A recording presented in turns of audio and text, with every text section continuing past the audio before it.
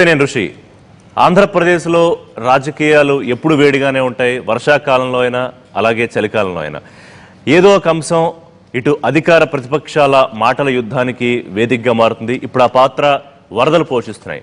వరదలకి ఆంధ్రప్రదేశ్లో అధికార ప్రతిపక్ష నేతల మధ్య పార్టీల మధ్య మాటల యుద్ధానికి కారణం ఏంటంటే డ్రోన్ చంద్రబాబు ఇంటిపై తిరగడం విజువల్స్ తీయడం. దీని మీద తెలుగుదేశం పార్టీ నేతలు ఆందోళన నిరసన వ్యక్తం చేశారు. అయితే కృష్ణానది లెఫ్ట్ అండ్ రైట్ కెనాల్స్ ఆ బ్యాంక్ సంబంధించి విజువల్స్ తీసుకోవడానికి డ్రోన్ కెమెరాస్ పంపించాము. ఇరిగేషన్ డిపార్ట్మెంట్ అనుమతితోనే వెళ్ళింది అని. అయితే మాజీ సీఎం భద్రతనే మీరు ప్రశ్నార్థకం చేస్తారా అని చెప్పి మాజీ ముఖ్యమంత్రి చంద్రబాబు నాయుడు ఆగ్రహం వ్యక్తం చేశారు. ఇటు మంత్రులు తెలుగుదేశం పార్టీ నేతలు ఎమ్మెల్యేలు అందరూ కూడా దీని మీద ఎవరి స్థాయిలో వాళ్ళు రాజకీయాన్ని మరింత పెరిగేలాగా మాట్లాడుతున్నారు. లోకేష్ అయితే తన తండ్రి ప్రాణానికి హాని కలిగించడానికి అమెరికా వెళ్ళే ముందు మీరు ఎవరికి సూచనలు చేసి వెళ్ళారని చాలా సీరియస్ నోట్లో ఆయన ట్వీట్ చేశారు. ఈ అంశం గురించే ఇవాళ మన డిబేట్ మనతో పాటు డి పాపారావు గారు ప్రముఖ విశ్లేషకులు వారు జాయిన్ అవుతున్నారు.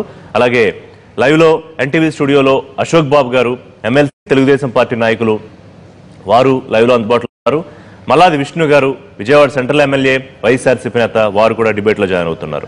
రైట్ అశోక్ బాబు గారు ప్రభుత్వం చెప్తోంది వాళ్ళు రెగ్యులర్గా ఏదైతే వరదలు వచ్చినప్పుడు ఆ విజువల్స్ అక్కడ పరిస్థితి సమీక్షించడానికి డ్రోన్స్ ఏవైతే పంపిస్తామో అది పంపించాము. ఆ నది దగ్గర ఆ కరకట్టల మీద అక్రమంగా ఉన్న చంద్రబాబు నాయుడు ఇల్లు ఉండడం అనేది ఉంది తప్ప ఆ ఇంటి కోసం మేము డ్రోన్లు పంపించలేదు అంటున్నారు. సో దీన్ని తెలుగుదేశం పార్టీ కావాలని రాజకీయం చేసిందనేది ప్రభుత్వ వర్గాల విమర్శ. ఏం చెప్తారు? ఋషి గారు ఇప్పుడు మీరు చెప్పిన స్టేట్మెంట్ కరెక్ట్ అవుతే మార్నింగ్ టెన్ థర్టీ ఆ ప్రాంతంలో రామకృష్ణారెడ్డి గారు ఒక స్టేట్మెంట్ ఇచ్చింది మీడియాలో ఉంది చూడండి. ఆయన ఏం చెప్పాడు? ఇవాళ ఏదైతే డ్రోన్ నుంచి మాకు వీడియో ఫోటోలు వస్తున్నాయో అవన్నీ మేము హైకోర్టులో ప్రొడ్యూస్ చేస్తామని చెప్తున్నాడు ఆయన. ఇందాక కూడా బొత్స సత్యనారాయణ గారు ఇల్లు కూల్చాల్సిందే అంటాడు. అంటే వాళ్ళకి లక్ష్యం ఏంటి? ఇల్లు కూల్చడం అదేమి ఆలోచన మాకైతే అర్థం కావట్లా? అప్పుడు ఇల్లు అక్కడ కట్టింది అనాథరైజ్డ్ లేదా ఇర్రెగ్యులర్ అని మీరు ప్రూవ్ చేసి ఎస్టాబ్లిష్ చేసిన తర్వాత కూల్చడం అంటే కరెక్టే. అదే కోర్టులో ఉంది. It is under judicial dispute నువ్వేం చేసినా సబ్జుడిస్ అవుతుంది. ఈ పడగొట్టాలి పడగొట్టాలి అనే ఒక పదం తప్ప దాంట్లో లిగాలిటీ ఏంటనేది ఇంతవరకు ఆ నాయకులు ఎవరు మాట్లాడతలేదు. చంద్రబాబు నాయుడు నివాసం ఉంటున్న లింగమనేని ఎస్టేట్స్ ఏదైతే అక్రమ కట్టడం ఉందో దాన్ని కోల్చడం కోసం కోర్టుకి ఎవిడెన్సెస్ ఇవ్వడం కోసమే డ్రోన్ పంపించారనేది మీ స్ట్రాంగ్ ఆర్గ్యుమెంటా ఆ, నేను అంటాం కాదు. పొద్దున్న మీడియా వచ్చింది చూడండి. నేను అంటాం కాదు. రామకృష్ణారెడ్డి గారు పొద్దున్న చంద్రబాబు నాయుడు గారు ఇంటికి వెళ్ళి ఆ కుర్రవాళ్ళిద్దరితో వీడియో తీయించి ఆయన స్టేట్మెంట్ మీడియాలో వచ్చింది. నేను అనలేదు అది. అది ఆయన ఆ స్టేట్మెంట్ ఇచ్చి ఉండకపోతే మరి చెప్పిన స్టేట్మెంట్ కరెక్ట్ అది. ఇరిగేషన్ డిపార్ట్మెంట్ వాళ్ళు ఫ్లడ్. లెవెల్స్ కనుక్కోవడానికి మేము డ్రోన్ పంపించామన్న ఆర్గ్యుమెంట్ కరెక్ట్ అయ్యేది. కానీ ఇక్కడ ఆర్గ్యుమెంట్ కరెక్ట్ కావట్లా ఎవిడెన్స్ ఉంది చక్కగా. మీడియాలో వచ్చింది. చూడండి మీరు మార్నింగ్ క్లిప్పింగ్ చూడండి. ఆయన కన్నా హైయెస్ట్ అథారిటీ ఆయన కన్నా highest authority irrigation minister Anil Kumar ఇచ్చిన స్టేట్మెంట్ తీసుకోవద్దాం మరి? రెండు లెఫ్ట్ రైట్ బ్యాంక్? ఆయన మూడు గంటలకు చెప్పాడు. ఆయన మూడు గంటలకు చెప్పాడు. అంతా అయిపోయిన తర్వాత అక్కడ వీడియో ఎవరైతే డ్రోన్ ఆపరేట్ చేశారో వాళ్ళని కూడా అడిగిన తర్వాత అతను కిరణ్ అనే అతను మమ్మల్ని పంపించాయండి. ఇదంతా వ్యూ తీసుకురమ్మన్నాడని చెప్పిన తర్వాత అప్పుడు మూడు గంటలకు ఆయన చెప్తున్నాడు. కానీ రామకృష్ణారెడ్డి మార్నింగ్ టెన్ థర్టీకి చెప్పాడు. మీరు రెండింటిని క్లిప్పింగ్స్ తెప్పించి చూడండి మీరు మీడియాలో కూడా ఉంది. మీ మీడియాలో కూడా వచ్చింది. ప్లే చేద్దాం. ఒకసారి మీరు మాట్లాడుతూ ఉండండి. కాసేపట్లో రెండు క్లిప్స్ క్లిప్పింగ్స్ నేను ప్లే చేయిస్తాను. విష్ణు గారు నా ఆడి- ఆడియో వినిపిస్తుందా మీకు? ఇప్పుడు అశోక్ బాబు గారు అంటున్నారు రామకృష్ణారెడ్డి క్లియర్గా స్టేట్మెంట్ ఇచ్చారు. అక్రమ కట్టడం అనే దానికి సంబంధించి మా దగ్గర ఆధారాలు డ్రోన్ కెమెరాలో చిత్రీకరించిన కెమెరాలు కోర్టు ప్రొడ్యూస్ చేస్తామని. ఇరిగేషన్ మంత్రి అనిల్ కుమార్ గారు చెప్తారు అక్కడ వరద పరిస్థితిని సమీక్షించడానికి డ్రోన్ కెమెరాలు పంపించాము. ఇదేదో చంద్రబాబు నాయుడు ఇంటి మీదకి మేము పంపించలేదు ఆయన అక్రమంగా ఉంటూ ఇంటి మీదకి పంపించలేదు అని. ఎవరి స్టేట్మెంట్ కరెక్ట్ అనుకోవాలి? సార్ సార్ ఇప్పుడు ప్రభుత్వ వాదన ప్రభుత్వ పరిపాలనకు అనుకూలంగా మాట్లాడటం జరిగింది నెంబర్ వన్ నెంబర్ ఏంటంటే కృష్ణా పరివాహక ప్రాంతం మొత్తం అంతా కూడా వరద అంటే కర్నూలు దగ్గర నుంచి అవినిగడ్డ దాకా వరద వచ్చినటువంటి పరిస్థితి చూసాము రోజుకి ఐదు లక్షలు ఆరు లక్షల క్యూసెక్కుల వాటర్ డిశ్చార్జ్ అవుతా ఉంది ఈ రోజు రాత్రికి తొమ్మిది గంటల ప్రాంతానికి ఎనిమిది లక్షల పైబడినటువంటి క్యూసెక్ వాటర్ డిశ్చార్జ్ అవుతుందని చెప్పని అధిక? సుమారు ఆరు నుంచి ఎనిమిది లక్షల క్యూసెక్లు. Six to eight maximum maximum eight అని చెప్పని ఈ పరిస్థితుల్లో మనం ప్రభుత్వ పరంగా చేయాల్సినటువంటి పనులు ఏమున్నాయి? డ్రోన్ కెమెరాల ద్వారా ఆ నదీ పరివాహక ప్రాంతం మొత్తం అంతా కూడా చిత్రీకరించుకుని ఎవరైనా సరే ఎక్కడైనా సరే ఖాళీ చేయకుండా ఇంకా ఉన్నటువంటి వాళ్ళని ఆ, ఆ ప్రాంతం నుంచి తరలించడము రిహాబిలిటేషన్ సెంటర్స్ ఏర్పాటు చేయడము వాళ్ళకి ఫుడ్ ఏమైనా ఏర్పాటు చేయాలో చేయడము ప్రభుత్వము తన కర్తవ్యాన్ని తను నిర్వహిస్తూ ఉంది. అందులో భాగంగానే ఈ రోజు ఉదయం అంటే నిన్న చేశారు మొన్న చేశారు కానీ ఈ రోజు ఏ, ఈ రోజు ఉదయం వెళ్ళటం కాదు డ్రోన్ నిన్న మొన్న కూడా వెళ్ళటం జరిగింది. ఈ రోజు అక్కడ ఉన్నటువంటి ఒక పోలీస్ అధికారి అత్యుత్సాహం ప్రదర్శించి దాన్ని అడ్డుకోవడం మూలంగా అదేదో ఇష్యూ అయింది తప్ప ఈ రెండు మూడు రోజుల నుంచి మొత్తం సమాచారం అంతా సేకరిస్తా ఉన్నారు. ఏ ఏ ప్రాంతాలు మునిగిపోతున్నాయో చూస్తున్నారు. ఏ విధంగా వాళ్ళు తరలించాలో ఆలోచిస్తున్నారు. ప్రభుత్వం అప్రమత్తంగా ఉండి జగన్మోహన్ రెడ్డి గారు రివ్యూ చేస్తూ ఆదేశాలు ఇస్తూ ఆ పరిపాలన సాగుతా ఉంది. కానీ మాజీ ముఖ్యమంత్రి గారి. ఇంటి మీద మాజీ ముఖ్యమంత్రి గారి ఇంటి మీద డ్రోన్ తిరగడం అనేది ఒక సంచలనమైన విషయంగా మారడం వెనకాల కిరణ్ అనే ఒక వ్యక్తి ఎవరైతే జగన్మోహన్ రెడ్డి ఇంటి నుంచి అతను చెప్పడం ద్వారానే డ్రోన్ కెమెరా అనేది అక్కడికి వచ్చిందని ఫోటోలు తీస్తోందని. చంద్రబాబు నాయుడు ఇంటి మీద డ్రోన్ కెమెరా పెట్టిన బాక్స్లో ఏముందో చెప్పాలని సాక్షాత్తు నా సెక్యూరిటీకే మీరు భద్రతకే క్వశ్చన్ మార్క్ పెడతారా అని చంద్రబాబు నాయుడు గారి ప్రశ్న వేసే స్థాయికి ఎందుకు తెచ్చుకున్నారు విష్ణు గారు? సార్ ఇప్పుడు చీప్ పాలిటిక్స్ అంటారు చూసారా? ఈ డైలాగ్ ఎక్కడ విన్నారా? తెలుగుదేశము చంద్రబాబు నాయుడు గారు లోకేష్ తెలుగుదేశం నాయకులు ఆ విధంగా దిగజారిపోయి మాట్లాడుతూ ఉన్నారు. ప్రభుత్వము దాని మీద మొత్తం యావత్తు నదీ పరివాహక ప్రాంతం అంతా కూడా డ్రోన్ కెమెరా ద్వారా మేము పర్యవేక్షించి అక్కడ తీసుకోవాల్సినటువంటి చర్యల గురించి ఆలోచిస్తూ ఉంటే వాళ్ళు ఏం చేశారు? ఈరోజు ఉదయం రామకృష్ణారెడ్డి గారు చెప్పారు.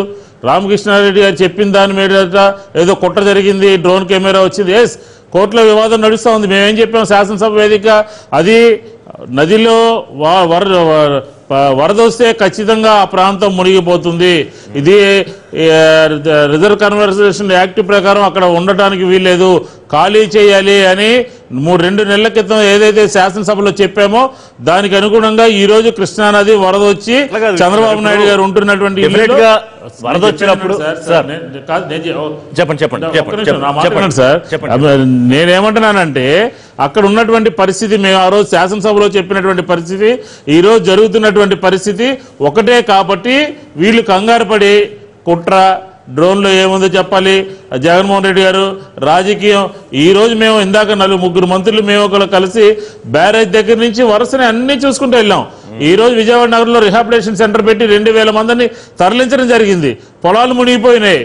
ఇలా మొత్తం అంతా కూడా చూస్తూ ఉంటే ఒక్క చంద్రబాబు నాయుడు గారికి సంబంధించినటువంటి వ్యక్తులు కానీ వాళ్ళకి సంబంధించిన మనుషులు కానీ వాళ్ళు కానీ ట్వీట్ చేసి చేసి ఏ రకంగా ఉందో ప్ర- ప్రజలు అర్థం చేసుకోలేకపోతున్నారా? ఎందుకు ప్రభుత్వం ఎందుకు తీసుకొచ్చింది?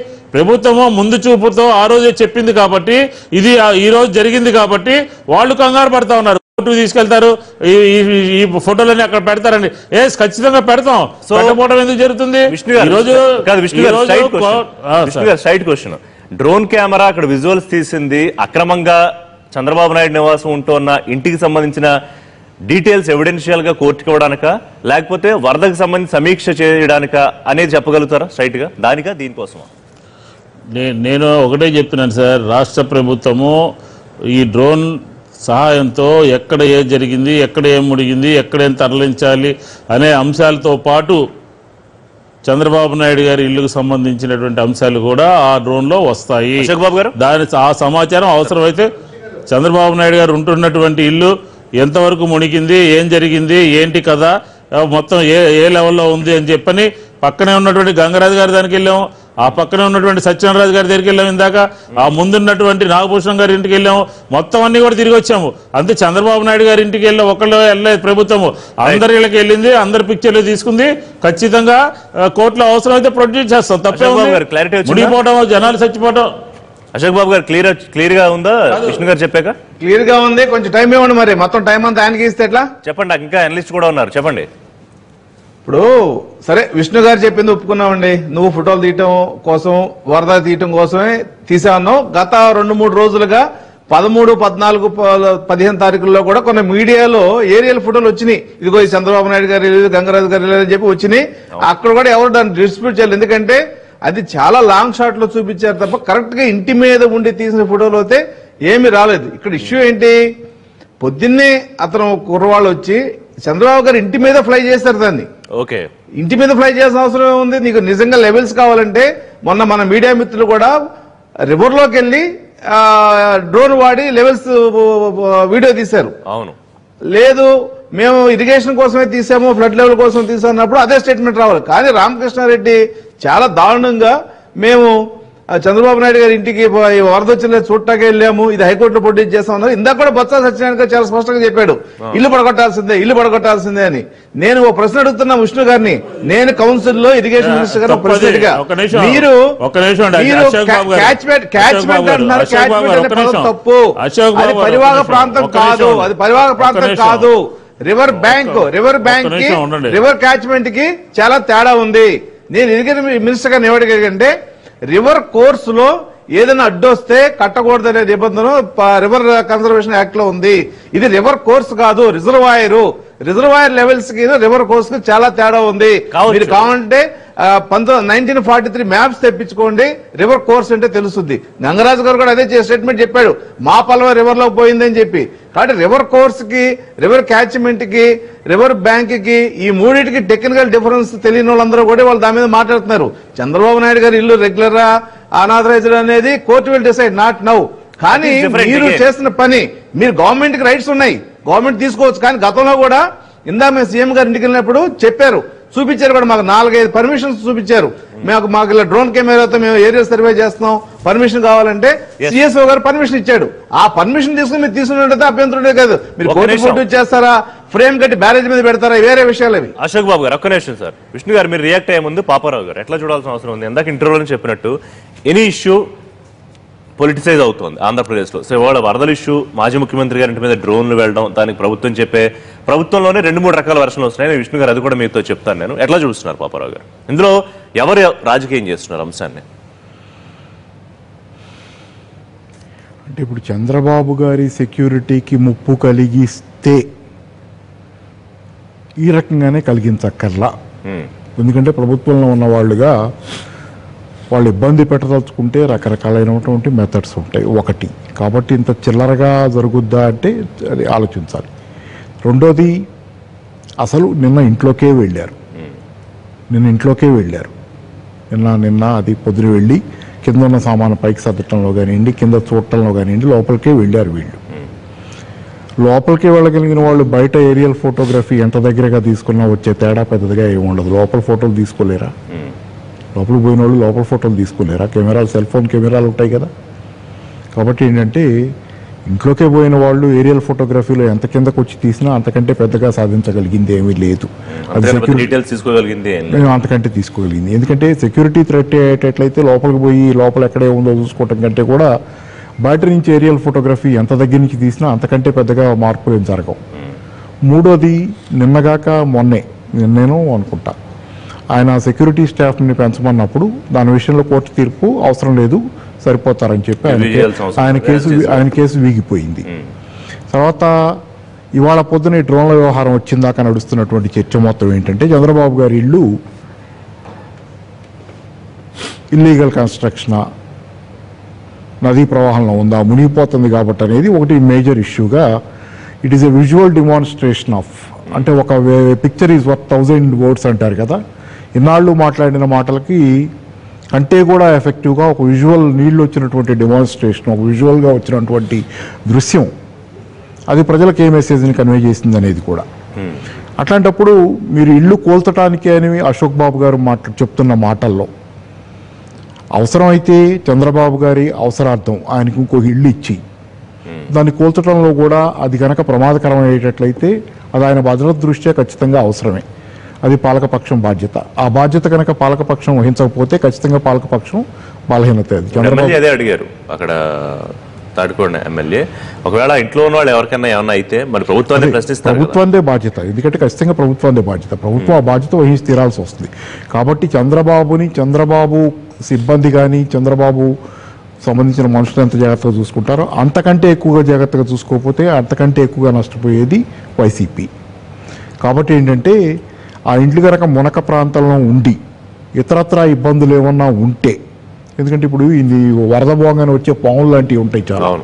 పాములు గేములు ఈజీగా వచ్చేస్తాయి. దానికి ఏ సెక్యూరిటీ ఆపలేదు వాటిని కాబట్టి ఎన్ని ప్రాబ్లమ్స్ ఉంటాయి. ఓవరాల్ చాలా ప్రాబ్లమ్స్ ఉంటాయి.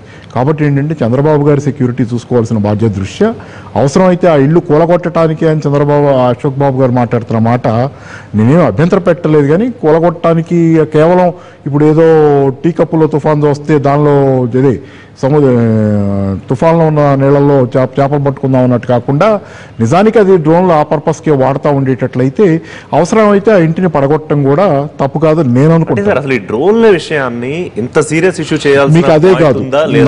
కాదు కాదు. ఏం కాదు. నేషనల్ డిజాస్టర్ మేనేజ్మెంట్ అథారిటీ ప్రకారం యుఏవీలని అంటే అన్ అదే ఏరియల్ వెహికల్స్. ఈ డ్రోన్లు డ్రోన్లని వాడటం చాలా మంచి పద్ధతి. డిజాస్టర్ జరుగుతున్న ఒక డిజాస్టర్ సమయంలో డ్రోన్లు ఇన్యాక్సెసిబుల్ ప్లేసెస్కి అయిపోయి వాటిని దగ్గరగా హై రిజల్యూషన్ ఫొటోస్ కనుక తీసినట్లయితే ఆ ఫోటోలు చాలా ఉపయోగకరంగా ఉంటాయి. Prevention and avoidance and taking care of అంటే దాన్ని వరద బా బా- వరదో లేకపోతే ఆ ఇబ్బందిని డిజాస్టర్ని మేనేజ్ చేసుకోవటంలో దానికి జాగ్రత్తలు దాన్ని దానికి సంబంధించి ఎందుకంటే ఇక్కడే ఉంది నా దగ్గర ఇప్పుడే నేను నోట్స్ రాశాను disaster national disaster management authority సెమినార్లో వాళ్ళు చెప్పింది ఎకనామిక్ టైమ్స్లో వచ్చింది అది. వాళ్ళు తేల్చి చెప్పారు. ఇది గనక ఇది దీనిలో డిజాస్టర్ మేనేజ్మెంట్లో డ్రోన్స్ వాడటం చాలా మంచి పద్ధతి. మాజీ ముఖ్యమంత్రి దీన్ని ఎందుకు ఇంత సీరియస్ ఇష్యూ చేశారు? ఇప్పుడు చివరికి నా భద్రత ప్రశ్నార్థకం చేస్తారా డీజీకి ఎస్పీకి ఫోన్లు చేసి మాట్లాడారు. అనుమతి లేకుండా ఎట్లా ఎగరనిస్తారు? అనుమతి అంటే ఆయన అనుమతి తీసుకోవాలా? లేకపోతే ప్రభుత్వం అనుమతి ఉంది కాబట్టి పంపించేయచ్చా ఇది వ్యూవర్స్ క్లారిటీ కావాలి. ఎవరి ఎవరి అనుమతి కాదు. ఒకటి ఫస్ట్ ఏంటంటే అట్లాంటి సందర్భంలో బై ఫోర్స్ కూడా ఎవాక్యువేట్ చేయించే అథారిటీ భద్రత కోరినప్పుడు ఉంటుంది. చంద్రబాబు గారు ఆ ఇంట్లో ఉన్నా కానీ ఆయన్ని బలవంతంగానైనా ఎవాక్యువేట్ చేయించాల్సి వస్తే చేయిస్తారు. ఆయన భద్రత దృష్టి ఆయన చేయనంటే. కదా? అది అందుకెందుకంటే అదేంటే? ఆయన భద్రత అనేది ప్రధానం. కాబట్టి ఏంటంటే ఆయన ఇప్పుడు immediate గా ఇట్లాంటి చిన్న చిన్న విషయాల వల్ల డ్రోన్ తీసిన దాని వల్ల ఆయన భద్రతకు వచ్చినటువంటి ముప్పే ఉండదు. ఆయన దాన్ని అంటే జనరల్గా చంద్రబాబు గారికి కొంత ఏంటంటే జనరల్గా థ్రెట్ ఉన్నది. అలిపిరిలో జరిగిన తర్వాత కానీ ఇండి కానీ థ్రెట్ పర్సెప్షన్ అనేది ఖచ్చితంగా ఉంది. దానికి సంబంధించి గవర్నమెంట్ అన్ని బాధ్యతలు తీసుకుని తీరాలి. కానీ ఈ ఈ డ్రోన్ల వ్యవహారం అనేది ఇక్కడే ఉంది. ఇప్పుడు UAVs can be can be effectively used for disaster management national disaster management authority. Right sir డ్రోన్లు వాడచ్చు. డ్రోన్ల రాజకీయం నడుస్తోంది ఆంధ్రప్రదేశ్లో. అశోక్ బాబు గారు చంద్రబాబు నివాసం వద్ద ముంపు వ్యవహారము ఈ డ్రోన్లకు సంబంధించి తెలుగుదేశం పార్టీ నాయకులు ముఖ్యంగా మాజీ ఇరిగేషన్ మంత్రి దేవినేని చేసిన కామెంట్స్. ఉద్దేశపూర్వకంగా చంద్రబాబు ఇంటిని ముంచడానికే ఈ నీటి విడుదల ఆలస్యం చేశారు అనే కామెంట్ని ఎట్లా చూడాలి? అలాగే లోకేష్ గారు దీనికి కుట్ర అనే ఒక ఆస్పెక్ట్ ఎందుకు ఆపాదిస్తున్నారు? అమెరికా వెళ్ళే ముందు జగన్మోహన్ రెడ్డి మీకు ఏం సూచనలు ఇచ్చారు అనే ఒక పాయింట్ అనే యాంగిల్ ఎందుకు తీసుకొస్తున్నారు? మీకు కావాలంటే క్లియర్గా ట్వీట్ నేను చదవమంటే చదువుతాను. మీరు చూసే ఉంటారు కదా? లోకేష్ గారు పెట్టిన ట్వీట్ ఋషి గారు. చెప్పండి అశోక్. హలో. అశోక్ గారు చెప్పండి. ఇప్పుడు ఇప్పుడు ఫ్లడ్ అనేది ఇవాళ మన మనకు పడ్డ క్యాచ్మెంట్లో వచ్చిన వర్షాలతో వచ్చిన ఫ్లడ్ కాదు ఇది. పైనుంచి వచ్చిన ఫ్లడ్ అది. అటు ఉమా గారు మాట్లాడారంటే ఆయన ఇరిగేషన్ మినిస్టర్గా he knows the flood management flood management ఎలా ఉండాలనేది ఆయనకి ఖచ్చితంగా తెలుసు. ఎందుకంటే ఆయన ఐదు సంవత్సరాలు ఆయన ఇరిగేషన్ మినిస్టర్గా చేశాడు. రెండు వేల తొమ్మిదిలో మనం అందరం చూసాం రోసే గారి టైంలో ఆయన సెక్రటరియట్లోనే పడుకుని ఆ రోజు ఫ్లడ్ని దాదాపు పదకొండు లక్షల క్యూసెక్స్ కృష్ణా బ్యారేజ్కి వచ్చింది హైయెస్ట్ అది. ఇవాళ మనకు ఆరు నుంచి ఏడు వస్తుంది. అంటే ఉమాగారు అనేది ఏంటంటే పైన ఒకసారి ఆల్మట్టి నిండిపోయింది ఇంకా ఫ్లడ్ వస్తుంది అన్నప్పుడు ముందుగా మనం ఖాళీ చేయించుకుంటే ఇంత ఫ్లడ్ ఒకసారి వచ్చేది కాదనేది ఒక ఆర్గ్యుమెంట్ అది సూచన. రెండోది నేను నేను కూడా ఫిజికల్గా కృష్ణలంక గట్ల మీద తిరిగాం. నిన్న మొన్న తిరిగాం. వాళ్ళు అనేది ఏంటంటే మాకేదైనా వార్నింగ్ వచ్చింటే బాగుంటుంది సడన్గా ఫ్లడ్ వదిలేసారు నైట్ నైట్ మా ఇళ్ళని మునిగిపోయినాయి. ముందు చెప్పుంటే మాకు మేము ఖాళీ చేసుకునే వాళ్ళం వాళ్ళందరూ ప్రజలందరూ చెప్పారు. కాబట్టి సడన్గా ఫ్లడ్ వచ్చిందనేది చాలా మందిలో ఉన్న అభిప్రాయం. సడన్గా ఫ్లడ్ ఎందుకు వస్తుంది? నువ్వు వాటరు మేనేజ్మెంట్లో ఫ్లడ్ రిలీజ్ చేయడంలో ఒక సిస్టమ్ మేనేజ్మెంట్ ఉంటుంది. అది లేదనేది ఉమా గారు ఆయన మా- మాట్లాడుతూ ఆయన మాజీ ఇరిగేషన్ మినిస్టర్ గారు మాట్లాడారు కాబట్టి టెక్నికల్గా మరి ఇంజనీర్స్ చెప్పాలి దాని సమాధానం. ఎందుకంటే మరి ఎంత వాటర్ వదలాలి ఎప్పుడు వదలాలి దాని మేనేజ్మెంట్ ఏంటి అనేది దాని కొన్ని పారామీటర్స్ ఉంటాయి దాని ప్రకారం ఆయన చెప్పాలా? మరి లోకేష్ గారు ట్వీట్ అంటే ఇప్పుడు చంద్రబాబు నాయుడు గారు నాకు ఒక బిల్డింగ్ ఇవ్వండి అని అడిగినందుకు ఆ బిల్డింగ్ కూల్ చేసిన యాటిట్యూడ్ ప్రభుత్వంలో ఉంటే ఇటువంటి సంఘటనలు ఏమవుతాయి అంటే మరి సెక్యూరిటీ ఎక్కడ ఇస్తున్నారు మీరు అనేది జనరల్ ఎవరైనా అడుగుతారు. ఇది మీరు ప్రభుత్వాన్ని నడిపించారు అశోక్ బాబు గారు. ఐదేళ్ళు ప్రభుత్వాన్ని నడిపించారు. లోకేష్ గారు మంత్రిగా లేవు. సార్ ఒక్క నిమిషం.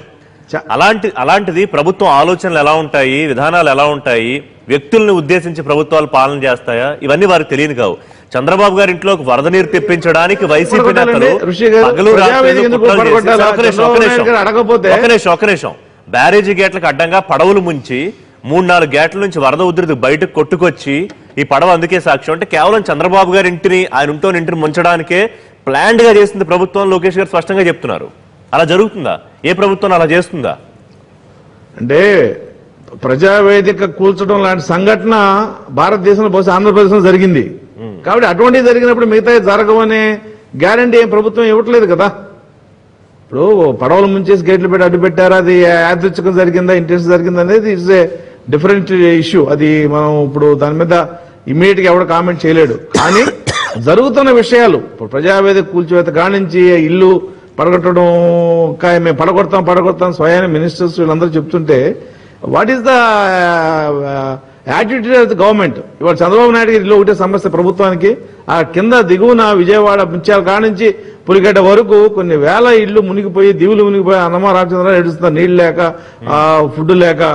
కృష్ణలంక గట్టు మీద ఐదు వేల మందికి మా ఎమ్మెల్యే రామ్మోహన్ రావు మేమంతా కలిపి భోజనాలు అరేంజ్ చేసాం గవర్నమెంట్ ఎంత అరేంజ్ చేసిందండి? వెయ్యి మందికి కూడా అరేంజ్ చేయలేదు. ఆయన సొంత డబ్బులతో అక్కడ ఉన్న లోకల్ వాళ్ళందరితో ఫుడ్ అరేంజ్ చేశాడు. ప్రభుత్వం బాధ్యత కదా కృష్ణలంక.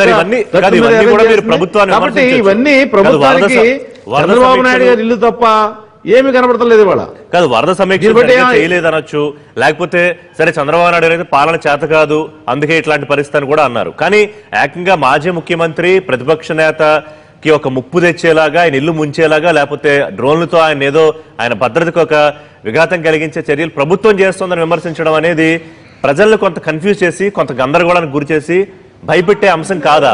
నిజంగా ఋషి గారు మేము ఇది ఎస్ చంద్రబాబు నాయుడు గారి ఇల్లు వాటర్లో వచ్చింది మునిగిపోతుంది ఈ ఎవిడెన్స్ మేము హైకోర్టులో ప్రొడ్యూస్ చేస్తామని చెప్పి అందరూ ఒకే మాట మీరు చెప్పండి మేము నమ్ముతాం దాన్ని. ఎస్ విష్ణు గారు. ఒక- ఒక ఆయన ఏమో మేము ఇరిగేషన్ దానికోసం ఫ్లడ్ లెవెల్ కోసం డ్రోన్ పంపించామంటాడు ఒక ఆయన ఏమో దేనికో పంపించామంటాడు అధికార పార్టీలోనే మూడు నాలుగు వాదనలు ఉంటే ఈ అదర్ ఎండ్లో వాళ్ళకి ఎటువంటి ఆలోచనలు ఉండాలా? విష్ణు గారు కరెక్ట్ కదా అశోక్ గారు చెప్పింది? అధికార పార్టీలోనే ఒక కన్ఫ్యూజన్ ఉంది ఈ వ్యవహారంలో ఏం జరుగుతుందో అర్థం కాక.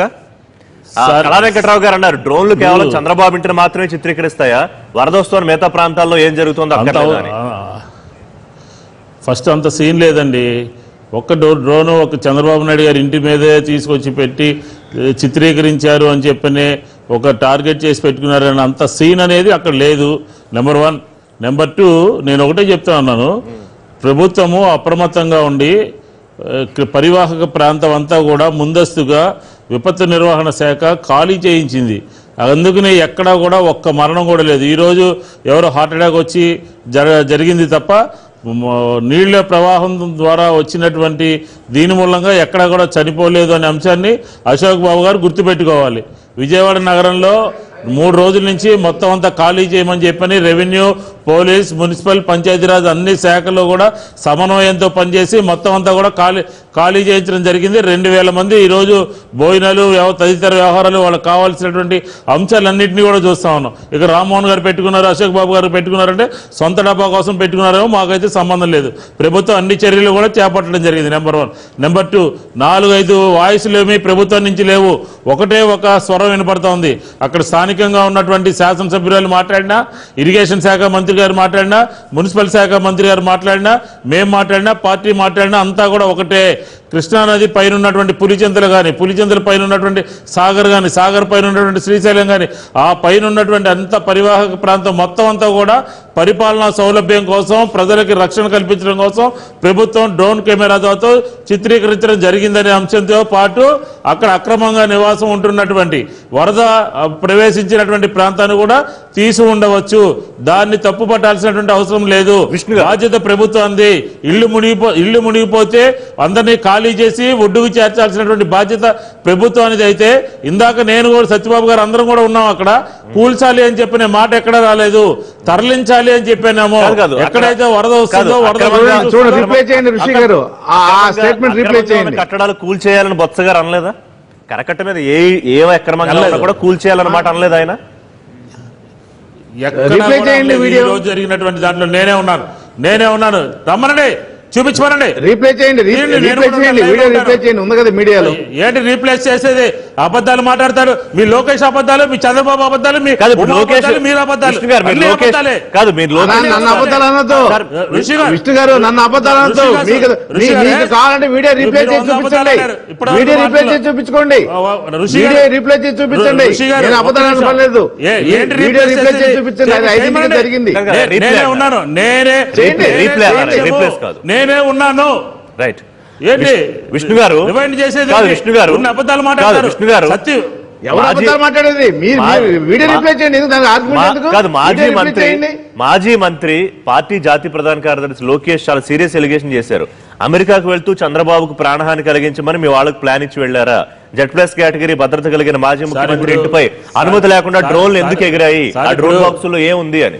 సార్ సార్ సార్ ఇప్పుడు నేను ఒకటే మాట్లాడుతున్నాను. పడవ పెట్టి వరద ఉధృతిని అడ్డుకుని ఆ నీళ్ళు వాళ్ళ ఇంట్లోకి పంపించారని చెప్పిన తర్వాత వాళ్ళ తెలివితేటలు వాళ్ళ ఆలోచనలు ఎలా ఉన్నాయో ప్రజలందరూ గమనిస్తా ఉన్నారు ఆ ట్వీట్ల గురించి. ఏమండి ఇప్పుడు వస్తున్నటువంటి వరదకి ఒక పడవ అడ్డం పెట్టి ఆ పడవ ద్వారా నీళ్ళు లోపలికి వెళ్ళాలని చెప్పని దాన్ని రాజకీయం చేయాలని చెప్పని చూస్తుందా ప్రభుత్వము? ఏంటండి అసలు ఆలోచనలు ఏంటి? అది పంచాయతీరాజ్ శాఖ మంత్రి చేసి ఉన్నటువంటి వ్యక్తి అలా మాట్లాడుతూ ఉంటే చంద్రబాబు నాయుడు గారు ఆయన పైన డ్రోన్ ఎగితే ఆయన ప్రాణహాని కలిగింది అని చెప్పి అబద్ధం చెప్తా ఉంటే ఆ ఇరిగేషన్ శాఖ మంత్రి ఐదు సంవత్సరాలు ఇలాంటి నీళ్ళు ఆయన ఆయన చరిత్రలో ఎక్కడా చూడనటువంటి మంత్రి ఆయన అబద్ధాలు చెప్తా ఉంటే దాన్ని కోల్చాలి అని చెప్పి అశోక్ బాబు గారు అబద్ధం చెప్తా ఉంటే ఇంకా ప్రజలు నవ్వుకుంటా ఉన్నారు వీళ్ళ స్టేట్మెంట్లు చూసి. కాబట్టి ఇప్పటికైనా పరివర్తన తెచ్చుకోండి. నూట యాభై ఒక్క మంది ఇచ్చి ప్రభుత్వాన్ని ప్రజలు ఎందుకు నిలబెట్టారో ఎందుకు తీసుకొచ్చి కుర్చీలో కూర్చోబెట్టారో ఆలోచన చేసుకోండి. ఎక్కడా కూడా కృష్ణా నది పరివాహక ప్రాంతంలో ఎక్కడ కూడా ఇబ్బంది లేకుండా ప్రభుత్వం అప్రమత్తంగా ఉంది. దానికోసమే మేము డ్రోన్ కెమెరాలు పెట్టాము. ఆ దాంతో పాటు చిత్రీకరిస్తే చిత్రీకరించి ఉండొచ్చు. చంద్రబాబు నాయుడు గారి ఇంట్లోకి నీళ్ళు ఎలా వచ్చినాయి అని చెప్పని. మేము శాసనసభలో చెప్పింది ఈ రోజు జరిగింది ఒకటే కాబోతుంది కాబట్టి మేము తీసుండొచ్చు. అదేం తప్పు కాదు. ప్రభుత్వానికి సర్వ హక్కులు ఉంటాయి. ప్రభుత్వానికి సర్వ హక్కులు ఉంటాయి. సరే ప్రభుత్వానికి హక్కులు ఉంటే Yes. ప్రతిపక్షానికి కూడా ప్రశ్నించే అవకాశం ఉంటుంది. Welcome back. చంద్రబాబు గారి ఇంటిని ముంచేయడానికే వైసీపీ ప్రభుత్వం కుట్ర చేసిందనేది లోకేష్ పార్టీ ప్రధాన కార్యదర్శి మాజీ మంత్రి చేస్తున్న వ్యాఖ్య. ఆయన ఒక కుట్ర ఆస్పెక్ట్ కూడా ట్వీట్లో మాట్లాడారు. పాపారావు గారు తాజాగా పెట్టిన ట్వీట్ చూస్తే చంద్రబాబు గారు ఇంటిని ముంచేయడానికి వైసీపీ మరో కుట్ర. నాగార్జున సాగర్ పూర్తి నిల్వ సామర్థ్యం ఐదు వందల తొంభై అడుగులు అయితే జలాశయ నీటి మట్టం ఇప్పుడు ఐదు వందల ఎనభై ఆరు అడుగులే ఉంది. అయినా ప్రకాశం బ్యారేజ్ దగ్గర అంత వరద ఎందుకంటే సాగర్లోకి వస్తున్న వరద కంటే ఎక్కువ నీటిని రిలీజ్ చేశారు కాబట్టి. ఇదంతా ఎందుకంటే చంద్రబాబు గారు ఇంటిని ముంచేయడానికి కాబట్టి అనేది లోకేష్ గారు చాలా బలంగా నమ్ముతున్నారు. అలాగే డ్రోన్ అనే దాంట్లో ఆయన ఒక కుట్ర ఆస్పెక్ట్ చూస్తున్నారు. అది ఎట్లా? నాకు అర్థం కాలేదు. ఎంత కుట్ర అంటే? సంబంధించిందా మాట్లాడే. ముందు దీని గురించి మాట్లాడే దాని గురించి నీళ్ళు ముంచేయడానికి ఏంటి అనేది ఒకటి సార్ పైన పులిచింతల దగ్గర చాలా హెవీ ఇన్ఫ్లో ఉంది.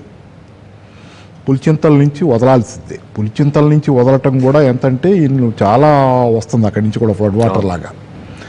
వస్తున్న దానిలో ఇన్ఫ్లో స్టడీ ఎట్. అంటే పులిచింతల నుంచి వస్తున్న inflow four point five lakh cusec లక్షల క్యూసెక్ల నీరు కంటిన్యూస్గా ఫ్లో అవుతూనే ఉంది దీనిలోకి.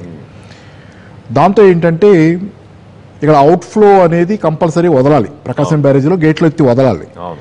అవుట్ఫ్లో ఎక్కడ దాకా జరిగిందంటే ఆ ఫోర్టీన్త్కి మొన్న ఫోర్టీన్త్ డేట్కి ఆగస్ట్కి అవుట్ఫ్లో ఐదు పాయింట్ ఆరు ఆరు లక్షల క్యూసెక్కుల మేరకు జరిగితే అది సెకండ్ వార్నింగ్ లెవెల్ ఆ లెవెల్ అవుట్ఫ్లో ఇస్తున్నారంటే ప్రకాశం బ్యారేజీ నుంచి అది సెకండ్ వార్నింగ్ లెవెల్ అంటే ఆ పైన కూడా ఇచ్చేటట్లయితే ఇంకా తీవ్రమైన పర్యవసానాలు అవతల పక్కన ఉంటాయి. కాబట్టి ప్రకాశం బ్యారేజీ నీళ్ళలో నీళ్ళ నిల్వని చూసుకోవటమే కాదు అది ఎంత ఆపుద్దో చూసుకోవటమే కాదు అవతలి పక్కకి వదిలితే ఎంత తట్టుకోగలవో అవతల పక్కన ఉన్న ప్రాంతాలు అనేది కూడా చూసుకోవాలి. ఇది కత్తిమేద స్వామి వ్యవహారం ఇప్పుడు ఇరిగేషన్ మంత్రి చేసిన వ్యాఖ్య ఇప్పుడు ఆయన అనుభవం ఉన్న వ్యక్తిగా చూడాలి ఐదేళ్ళు ఇరిగేషన్ మంత్రిగా చేసింది. మరి ఆయన కూడా బాధ్యతాయుతంగా చేశాడా? బాధ్యత రహితంగా చేశాడు అనుకోవాలా? తుంగభద్ర కృష్ణాంధ్ర నుంచి లక్షల క్యూసెక్ల వరద వస్తుందని తెలిసిన ప్రకాశం గేట్లు ఎత్తలేదు.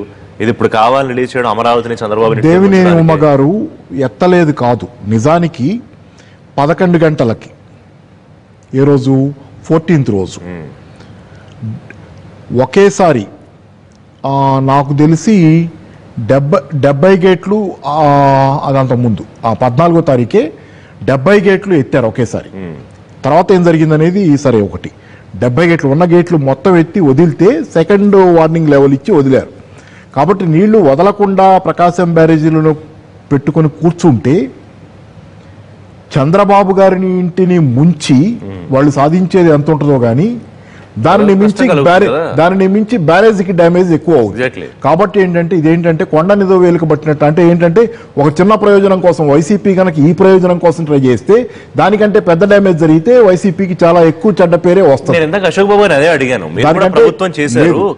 ప్రభుత్వాల యాటిట్యూడ్ ఆలోచనలు ఎలా ఉంటాయా అంటే ప్రజావేదిక కూల్చిన ప్రభుత్వ యాటిట్యూడ్ ఇంకెలా ఉంటుందని అశోక్ బాబు గారు అడిగారు. ప్రజావేదిక కూల్చడాన్ని నేను చాలా సందర్భాల్లో సమర్థించాను. మీరు డబ్బులుగా ఆలోచిస్తున్నారు నేను దాని రూల్ నేను దాని పద్ధతిగా ఆలోచిస్తున్నాను. పద్ధతి అంటే నా నేను అయిన మనిషిని చెప్పాను అదే అక్కడున్న అక్కడున్న రూల్స్ అండ్ రెగ్యులేషన్స్. రెగ్యులేషన్స్గా ఆలోచిస్తున్నాను. నేను ఆలోచిస్తుంది పర్యావరణ పరంగా ఆలోచిస్తున్నాను. పర్యావరణవేత్తలంతా ఘోషిస్తున్న పరంగా ఆలోచిస్తున్నా తప్పితే నేను ఆ డబ్బుల పరంగా ఆలోచించట్లా. యూ హ్యావ్ సంఖ్యంది మనీ యాక్చువల్లీ మీరు తీసుకెళ్ళి అక్కడ ముంచేశారు డబ్బుల్ని నదిలో. ఇప్పుడు ఆ మునిగిన డబ్బుల గురించి కంటే రేపు పొద్దున అది కనుక ప్రమాదం ఏర్పడితే మునిగే మనుషుల గురించి పోయే ఇతరత్ర నష్టాల గురించి ఆలోచించాలి. ఎస్ కాబట్టి అది ప్రజావేదిక కూల్చడం నేను ఇప్పటికీ చెబుతున్నా. మన వైసీపీ మిత్రులు ఏమన్నా దాని విషయంలో ఇంకా దాన్ని మాట్లాడటానికి మళ్ళీ ఏదో జరిగిపోయింది ఏదో జరిగిపోయింది అన్నట్టు చంద్రబాబు గారు ఇల్లు ఇప్పుడు ప్రమాదంలో ఉన్నా కూలుస్తారా మీరంటే? ఆ కాదు మేము కూలుస్తామంటలేదని వాళ్ళు మాట్లాడొచ్చు. కానీ ప్రమాదంలో ఉంటే ఇప్పుడు చంద్రబాబు గారి ఇళ్ళే కావచ్చు. లేకపోతే ఆ పక్కన ఉన్నటువంటి మంతెన సత్యనారాయణ గారి ఆశ్రమం కూడా ప్రమాదంలోనే ఉంది. ఇప్పుడు వాళ్ళ దానిలో కొన్ని ఇళ్ళు వచ్చినాయి. అవి కూడా వెకేట్ చేయించారు. ఏనా సరే ముందు కాలంలో ప్రమాదం వచ్చినట్లయితే వాటిని అక్కడి నుంచి తొలగించాల్సిందే. వాటిని అక్కడి నుంచి తొలగించాల్సిందే. ఎవరున్నా ప్రమాదమే ఆ ప్రాంతంలో. ఎవరున్నా ప్రమాదమే కాబట్టి ప్రభుత్వం తాలూకు ప్రజాహిత బాధ్యత ఏంటంటే ప్రమాదంలో పడటానికి పడే వాళ్ళకి వాళ్ళకి తెలియపోయిన ప్రమాదంలో పడబోతున్నాం మేము అక్కడ ఉండటం ద్వారాని అన్ని అవగాహన ఉన్నటువంటి ప్రభుత్వంగా టెక్నికల్ పీపుల్గా వాళ్ళు ఇచ్చిన సలహాల మేరకు దాన్ని ఖచ్చితంగా రిహాబిలిటే ఇంకో చోట చంద్రబాబు గారికి అయితే వేరే ఇల్లు ఇవ్వటం లేకపోతే మంతెన సత్యనారాయణ గారి రాజు లాంటి లాంటి ఇంకోటి తొలగించాల్సి వస్తే అది అక్రమ కట్టడం ఇంకోటి అయితే తొలగించాల్సి వస్తే ఖచ్చితంగా దాన్ని తొలగించే పద్ధతిలో దాని పద్ధతి ప్రకారం తొలగించడం ఇవన్నీ జరుగుతాయి. వైసీపీ మిత్రుల విషయంలో నాకున్న తేడా ఏంటంటే ఇంతకుముందు వాళ్ళు దీని విషయంలో రూల్స్ అండ్ రెగ్యులేషన్స్ మాట్లాడటంలో ఏమాత్రం వెనకాళ్ళ కానీ ఇప్పుడు చూస్తుంటే వాళ్ళు మేమే బడగొడతా ఉంటాం పడగొడ కంగ భుజాలు దనుకుంటున్నట్టు మాట్లాడుతున్నారు. అవసరం లేదు, అదేం అవసరం లేదు అనుకుంటున్నా. ఎందుకంటే నేను స్పష్టంగా చెబుతున్నా. అది కనుక అది కనుక. అది ముప్పులో ఉండేటట్లయితే చెప్పండి విష్ణు గారు.